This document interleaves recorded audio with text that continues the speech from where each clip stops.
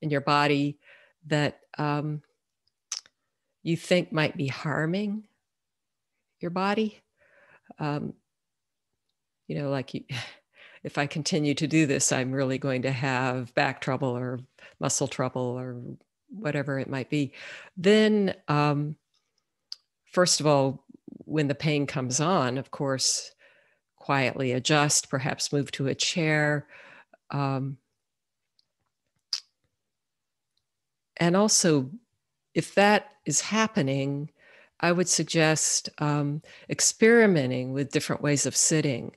One of the disadvantages of these, you know, wonderful, opportune online retreats um, for for an intro retreat, we can't really go around and help people uh, with posture. And um, so, a, a, few pointers would be uh, sitting toward the forward edge of the cushion if you're on a cushion, uh, making sure that that tripod effect, uh, that your knees are all the way down. So, um, if your knees aren't I mean, of course, if you're in a chair, your feet are flat on the floor, but if your knees aren't all the way down, something about uh, what you're sitting on isn't a good fit for you and for your level of flexibility. Um, so that you know that is tremendously helpful to get that stability and to be sitting forward and then to have that you know sort of at the flexibility at the hips where you can have that little um, natural. Some people, it's different for everybody, but there's usually a little curve in the back. So the belly actually falls forward a little. And um, if you're not finding comfort on a cushion, whether it's kneeling on the cushion or cross legged, uh, Burmese, half lotus, um, but knees down, try a bench um, try a, a, low. I noticed Susan has a really nice flat, low, um, backless chair that would be very uh, stable. Um, if the pain is of the sort that, um, you know, once you get up and move around, it will stop, um, then breathe into it. It can actually be helpful. Um, if if you let yourself just breathe into the pain, even let there be nothing but that pain, nothing outside it, you might be surprised how it goes away. Um, when I was starting out, um, I'm, I'm not by nature flexible, still not, but um, I found that um, kneeling on a on a cushion on a zafu worked for me. I could really do that, and of course, I still had I had pain from tension that was completely unnecessary. It took some years to realize that I could just find the balance in sitting and release that, and and then you know sit all day without neck pain or back pain uh, because i'm not holding something uh, against myself i'm just letting the body sit um, but when i started to work on sitting cross-legged on the floor on a cushion i would alternate um, in, in a retreat in a session setting so this long sitting that can be a nice strategy. Uh, if you have two ways that are really balanced, then you can um, change it up. Um, yeah. I mean, this is such a, a, common question, and this practice is not meant to be um, to be harmful in any way. And it can really, we can learn to do it uh, with a kind of ease. But these strategies of having different modes of sitting, um, really checking, working with your posture. Again, I said yesterday when asked by this student, Ryoun Roshi, uh, which is most important, posture, breathing, or stilling the mind? He said posture right away. Um, yeah, I. So so check it out. You know, if if you sit all day, or even if if in sitting, um, and we get up for walking, and whatever is hurting doesn't release, uh, I would most definitely find, you know, an alternative. Um, of course, also, here we are in Zoom, you're each in your own space. It's not going to disturb anyone to make little adjustments while sitting. So, 15 minutes into the sit, foot's falling asleep or the posture is painful. It's it's possible to adjust without um, distracting anyone. But it would distract you. So it's quite helpful to find a posture that you can you can maintain in some poise for 25 minutes. Uh, just something to work with.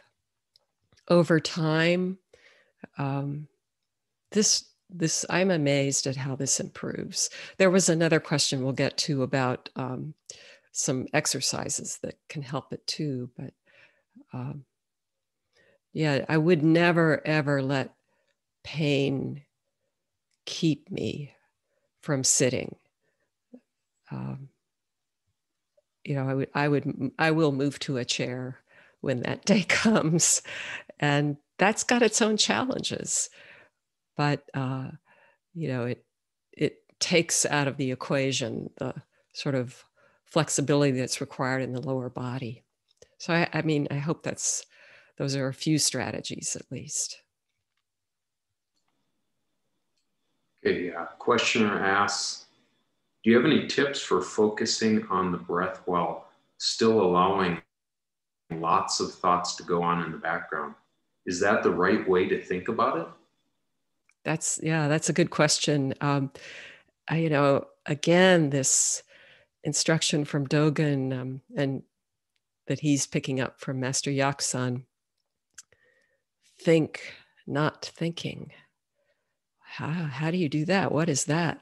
Non thinking. Um, that is thought happening, but not in the least sticking to it. So, and it I don't, it's, it's very different from monkey mind. It's not a kind of incessant thinking, but um, yeah, I mean, generally to this question, I would say yes.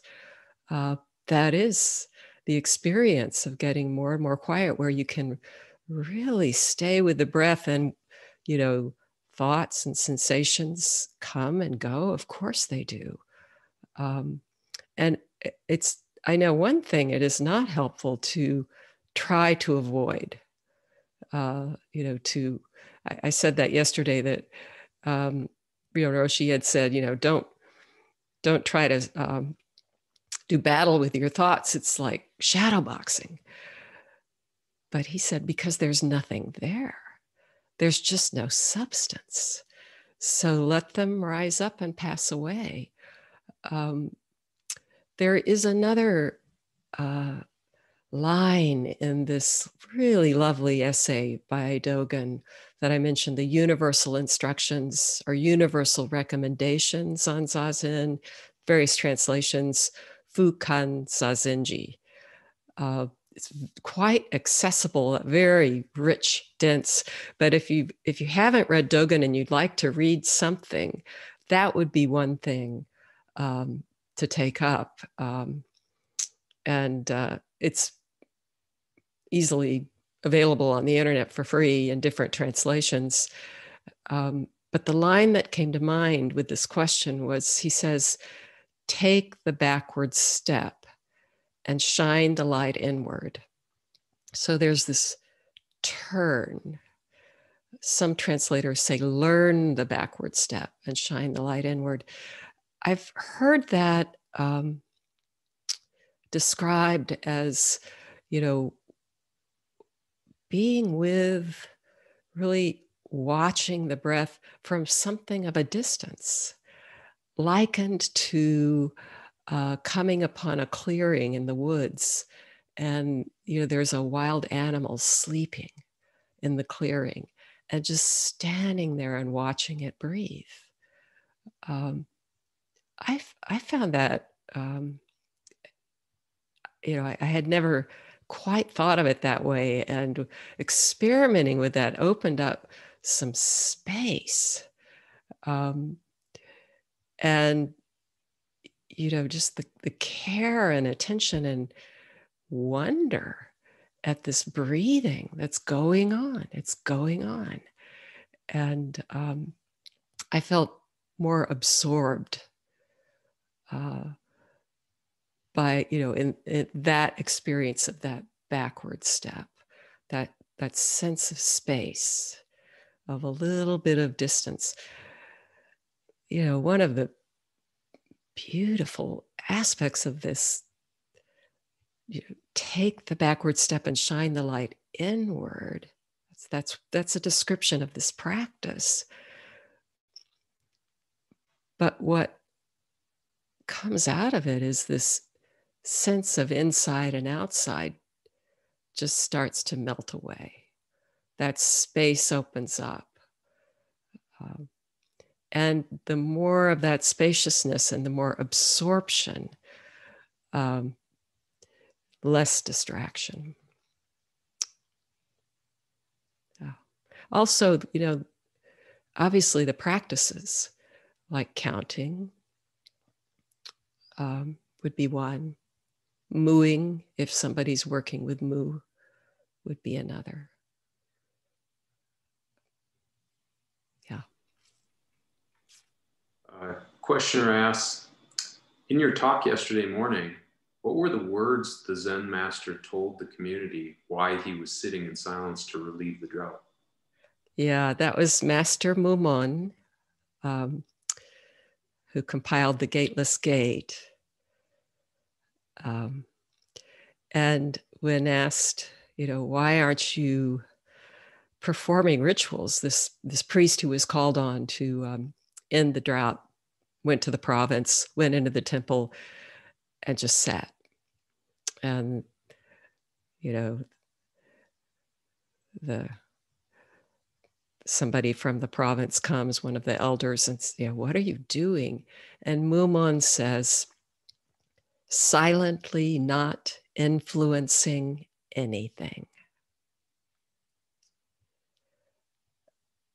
It um, I think that so resounds with what we're doing and sitting. Um, and this sense of no one doing anything. Uh, there's another question that relates to this, but um, I, I uh, have a friend that I often connect with in the Boundless Way tradition. He's a teacher, which is a sort of cousin to Sambo Zen. And they had an online session not too long ago. And sort of the theme of this four or five days was um, to be a person with nothing to do. So while sitting, while standing, while walking, going off. They, they had Samu, you know, go then the evening in your own home, a person with nothing to do. Um, I remember a session with Joan Rieck years ago. And in a talk, she told a story about um, a man who had been at a, a seven day retreat you know, it's a kind of standard length for a full retreat. Um, and he had had a good session, you know, steady, deep sitting. Um, but no, you know, he'd, he'd long been sitting with Mu. There was, he hadn't had an opening. Still, the, the deepening and the equanimity and the clarity and the compassion you know all those this this boundless first fruit of zen so he you know the session ended he went home and the next day he got up and he went to work and at the end of the day he sent joan an email saying all these things are happening but no one's doing anything And to us listening, she said, That's Kensho. That, you know, remarkable freedom of um, just sitting, just standing, just typing, just making a phone call. There's a um, a name for this one level of it when you hear a lot of talk in Zen, you know, just eating, just walking, just, just, just, you know, which is simply a kind of mindfulness practice, right? Where you um, you just give yourself to the one thing that you're doing. But in that, as as helpful and rich and uh, as that can be, it can really be a good, strong practice um, that can also lead to deepening but there's still someone doing it you know i'm just concentrating on this one thing and nothing else. I'm mindfully eating. I'm mindfully typing. I'm mindfully talking. Um, there is a radical shift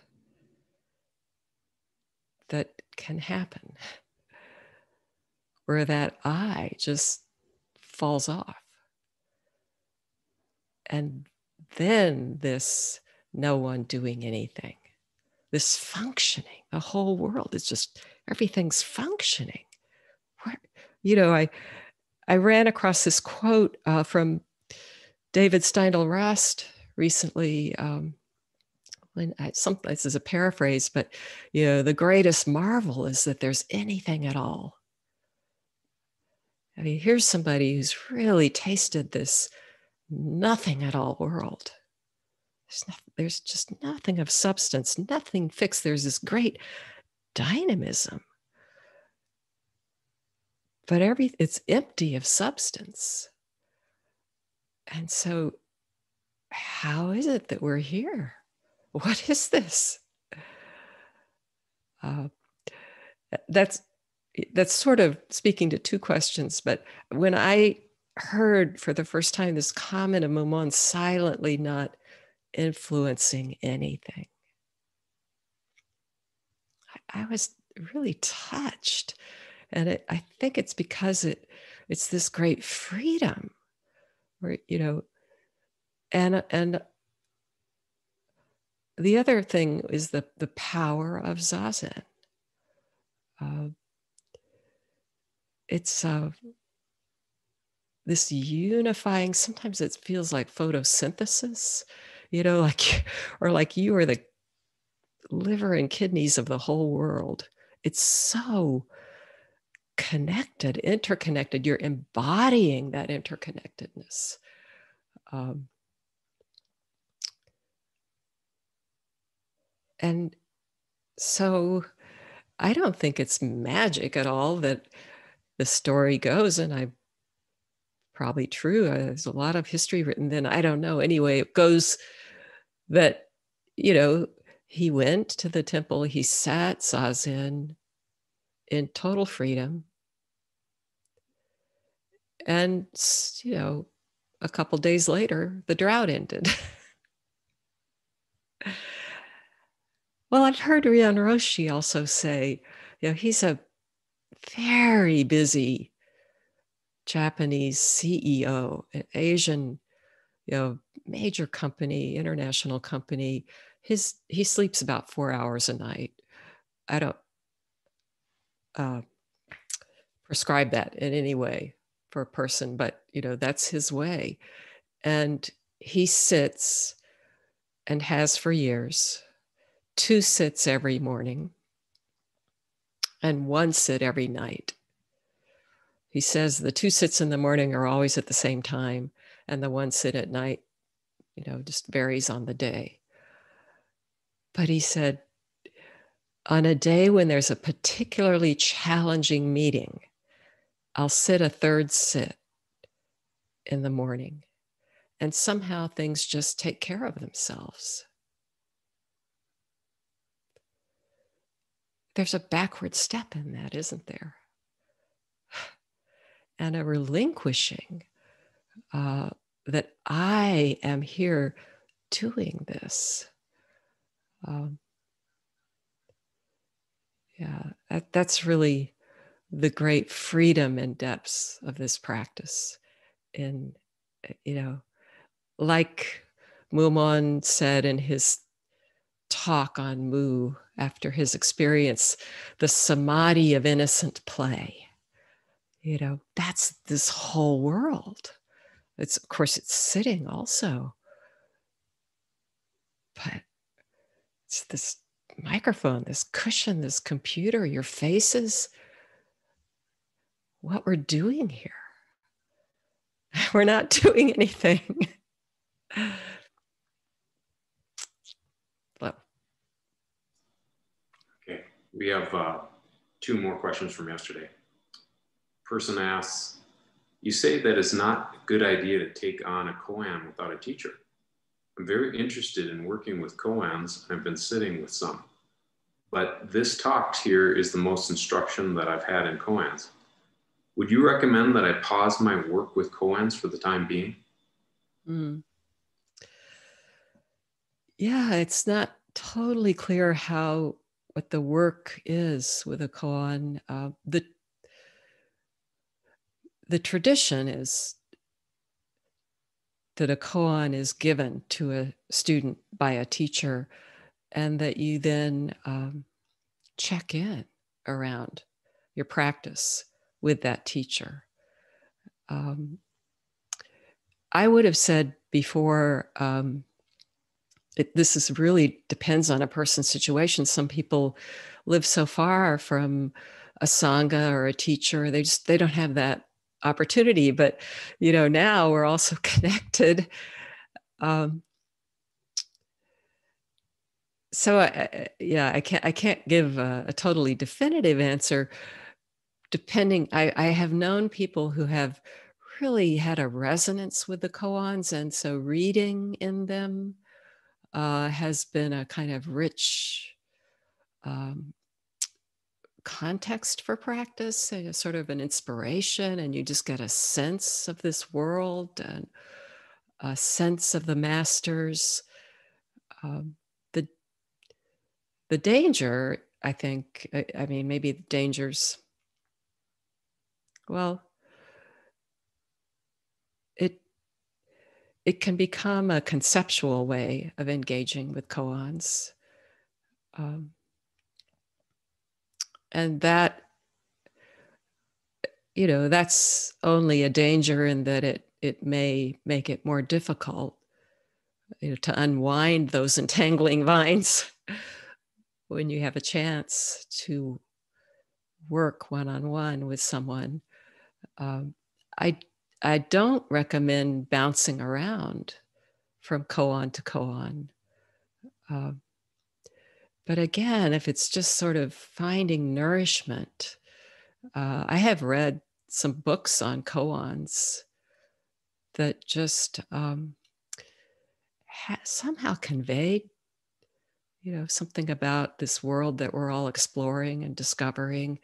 And um, it, I wasn't actually, you know, one week this koan, one week that koan, sort of trying to really sit with it and see through it but somehow the you know taking it in i found a kind of nourishment a richness. Um, generally i would till the soil of your practice uh, with just sitting or counting.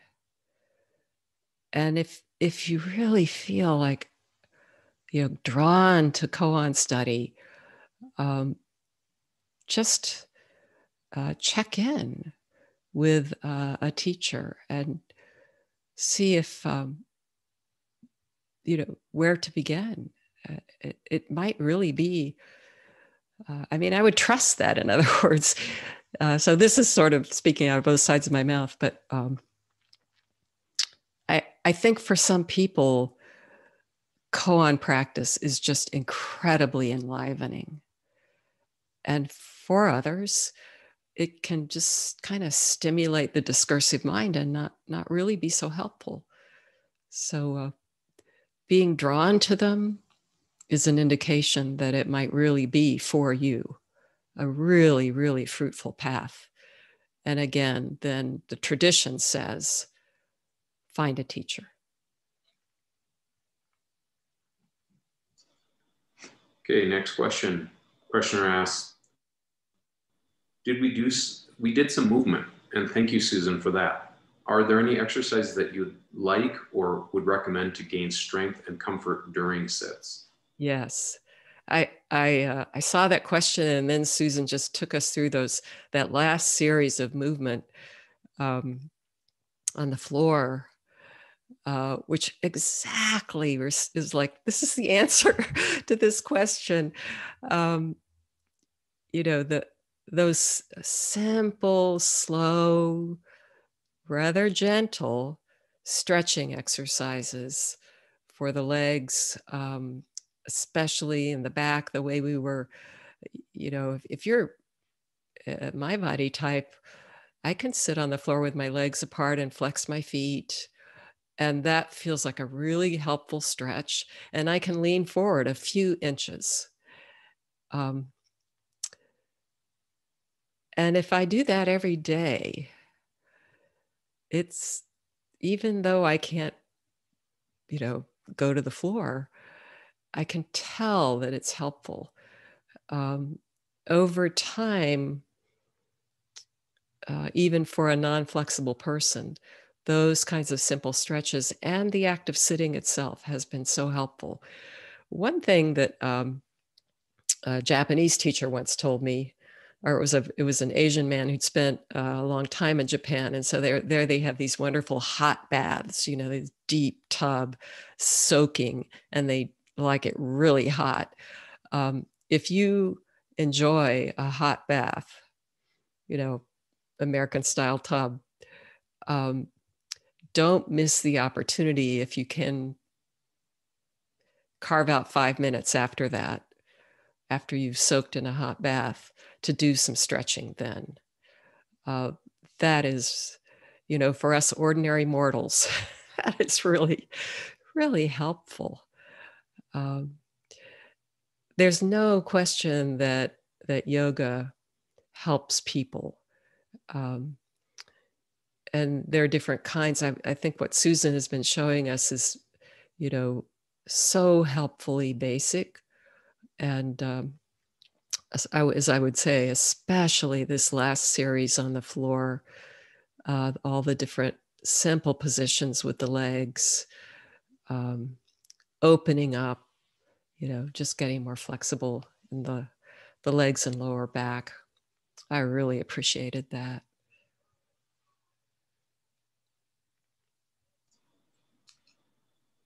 Questioner asks, you spoke of letting sitting sit could you please say something about letting doing do? Yeah, that was the question that um, you know came to mind. I, I sort of felt it, um, you know, sort of echo or resound off of Mumon's statement, uh, silently not influencing anything. Um, and so this, you know, no one doing anything is, you know, it just sitting is sitting. And this practice is so available to us all the time. I mean, um, driving, you know, uh, I mean, I don't know if I would start there because maybe it would be actually distracting uh, if you're not used to it. But um, cooking, chopping vegetables, cleaning. I think that's a reason that Samu, you know, um, work practice is a very standard part of any retreat. If we were together, we would be doing that every day um, because it's a chance to just let, you know,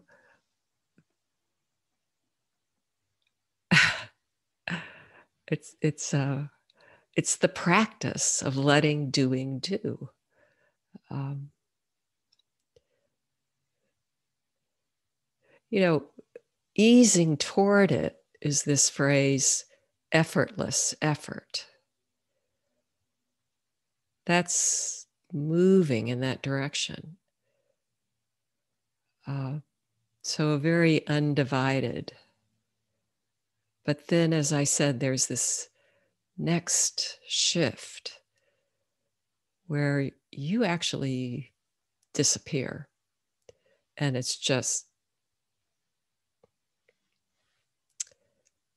functioning. All these things are happening and no one's doing anything. It's enormous freedom and compassion. Um, that there is anything. You know, it, if we really get close to this, it brings tears um, that we can be here doing this. What is it? What a marvel. You know, this is Wanshi when he talks about wonder. I mean, I'm sitting in front of a chair with a zafu on it, supported by a book and a computer and arms and all of your faces. And there's nothing here, and yet here we are. Um, so, this practice, though, of letting doing do um, is just a wonderful opportunity, you know, off the cushion.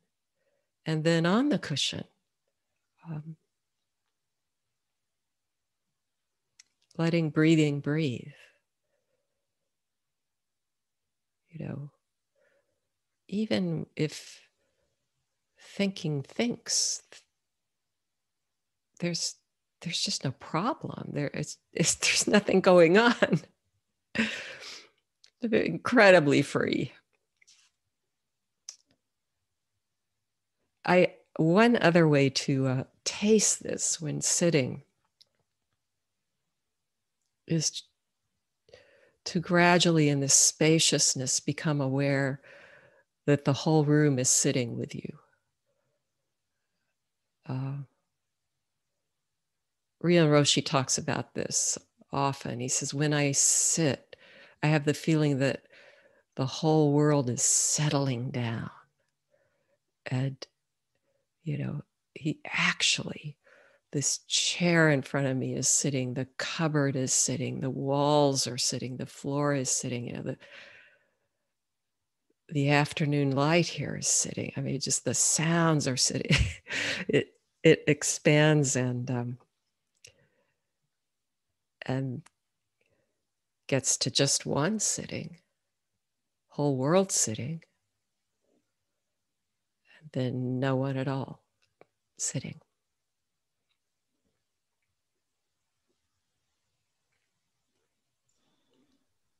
A questioner asks Can you talk about the utility of koans compared to other ways of recognizing our true nature? I'm thinking of contemplative traditions like Dzogchen and Douglas Harding's Headless Way, which contain pointing out instructions that seem more pragmatic than koans for catalyzing an awakening. I understand this topic may be outside the scope of our discussion today, but I'd love to hear your thoughts. Yeah, thank you for the question. Um, you know, uh, here at Mountain Cloud, Henry, uh, and I'm learning so much from it. He's really become um, over over time quite interested in these, what he calls different zones of practice, mindfulness being the first. Um, and so uh, with him, I've attended a introductory mindfulness retreat. People who've done Vipassana will also, you know, have more affinity for this maybe in their experience. Uh, but this is an active kind of practice. Um, and uh, you know there are there are new uh, uh, it seems like all the time now coming on coming out um, the science of enlightenment and these practices that say you know look here here's here's a direct path to this dropping off this non-dual experience um, and these are steps you can take you know strategies what, what you the tools what you actually do. Um, i'm fairly new to this. My experience um, so far i can only speak from so acknowledging its limits. Um, i i think that mindfulness at least is um, very helpful at learning to observe what's going on, uh, to be in the present moment, um, to focus on one thing at a time, to get to know, you know, also your mind, your body, your sensations, your emotions uh, to, to see how all that works. And in seeing it, you know, more and more we see through it. Um, for me, the koan path is the most direct way I know to waking up, to really, uh, and this is endless, by the way the horizon's always moving. It's very recognizable when, when you catch a glimpse of this world. You know it. And you can go to a teacher and it's very recognizable. And yet it, it's always, there's always more. It can always deepen, always get clearer. Not the world, the world is clear, but my, uh, you know, experience of it can always get clearer. Um, so part of this response is coming up out of my own experience. Um, the two traditions I know the best are Soto and Rinzai. And um,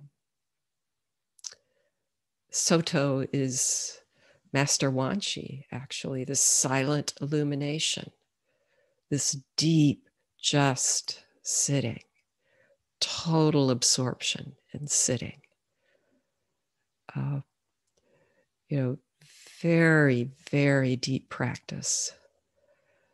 And then, you know, the Rinzai tradition, I mean, the Soto school does use koans, but more in the way that somebody might stay with a koan for 10 years or their whole life. One. Dogen wrote quite a bit about koans and he's, uh, you know, sort of a father of Soto in Japan. The Rinzai school took up koans, like Mu calls them brickbats, to uh, break down the door, the gateless gate. And uh, they can be so powerful, these little explosive devices that finally bring down the walls. Uh, it's what it's likened, our, our world. We live as if in a darkened room, Yamada Koun Roshi, and you know, sitting even with the koan is like you know, the walls gradually get lighter and you may actually drill a hole through and you might be able to see know this whole wide world on the other side but in the beginning you might just see this much of it and then gradually the opening or the lens just gets bigger and bigger and bigger until there's no edge at all uh, Yeah. So I'm what I what I particularly appreciate about Sambo Zen is this combination of Soto and Rinzai in this tradition. And as I said, though, now um, there's increasingly an interest in understanding how these different practices, um, you know, work together or getting at uh, helpfully, maybe helpful to people. So you're not having to be limited to just one way. Uh, so I, yeah, I um, don't feel thoroughly uh, equipped in terms of my own experience to speak to the practices that you named. But I, I have the inkling that I, I still have a little, this is very honest, a little suspicion about, oh, come to my workshop for a day or a weekend and I'll teach you how to become enlightened. Uh, I feel like this opening, this shift, this what Dogen described as body and mind fallen away. Uh, that's not something we can construct. Um, we can really prepare the way, but it comes like a thief in the night when it comes, stealing away everything. Is that it, Dan? A couple more questions. Okay. Uh, questioner asks, how do we know if we should move on to another practice? I've been watching my breath, but how would I know if I should move to an open awareness practice or something else? Yeah. Um, I mean, this is where it would be so helpful to have a teacher. Uh, you know, you're if you feel like, for example, with counting, um, I started out really, really uh, counting my breath, and at some, and still, uh, if if um, if a sit is distracted, I might go to that. Um, but what happened over time was it felt too busy, and so it just naturally I stopped and just began to rest in the breath. Um, so I think there might be a similar move if if resting in the breath, really attending to the breath, that kind of focused absorption uh, is starting to feel limited, then give it a try. It's you know what if that opens out into spacious awareness? And then if you're sitting in spacious awareness and have a sit or a part of a sit where it's distracted maybe go back just just pick up the the focus on breathing until things quiet down and then it and you can let it kind of expand into spacious awareness i think it's pretty fluid um, as long as we're not within a sit trying to decide what to do, that's not helpful. It has to really be guided by, by your experience. Uh, and the same would go then if, you know, if it can happen for someone who's been just sitting and really tilled the soil of their practice and um, then they start to thirst for something more and that's when you would drop in a koan. One more? Okay, uh, yeah, there's, well, there's two more, um, both short, but maybe you can make a quick comment on both. Uh, do you have strategies for combating sleepiness while sitting? Sleepiness. Yeah. Um, well, Henry always says, you know, if you're really sleepy, uh, take a nap.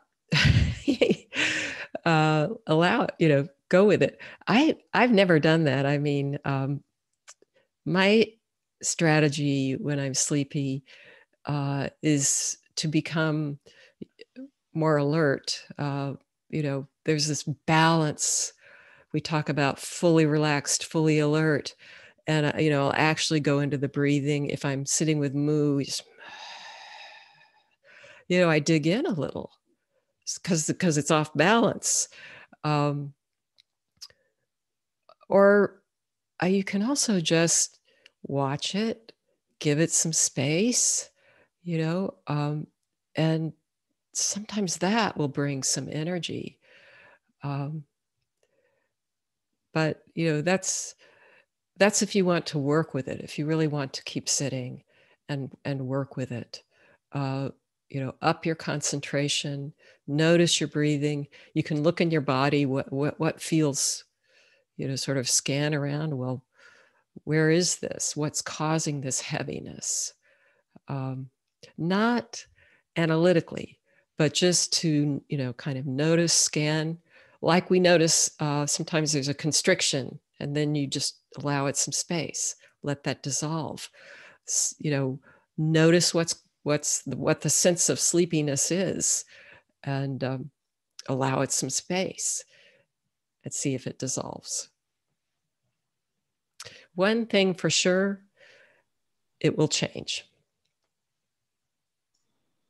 Okay, um, we only have a minute or so left, but um, maybe you can just uh, address this. I'm not sure what the spelling is on this, but um, it asks the, the, the questioner asks, why is Kenzo kinder? Is it kinder? Is it more helpful? Or is it just true?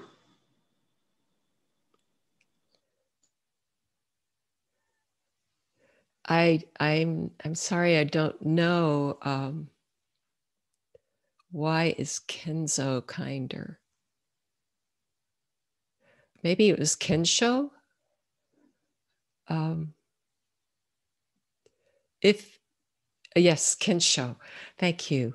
Um, it's just true. It's just true. It's who you really are, which is from the tradition, one way of naming that is boundless compassion. And the more clearly we see who we truly are, yeah, these attributes just, they're there. They're there from the start. And we just get out of the way.